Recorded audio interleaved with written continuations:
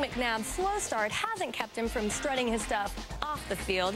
According to our insiders, to one of the club's private rooms. Guys, someone needs to tell Andy Roddick. Andy's pals tell our insider that ever since he won, according to our insider, even keeps it next to him while he sleeps, sipping champagne from the trophy while his girlfriend. Back to you guys.